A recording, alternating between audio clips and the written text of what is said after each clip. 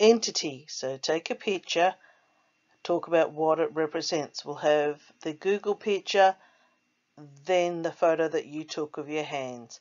Then we're going to have two examples that are different, of course, but the same entity. So, for example, legs, legs. Then you're going to design your own examples. And the last slide will show you the setup if you are confused about how to set up each slide.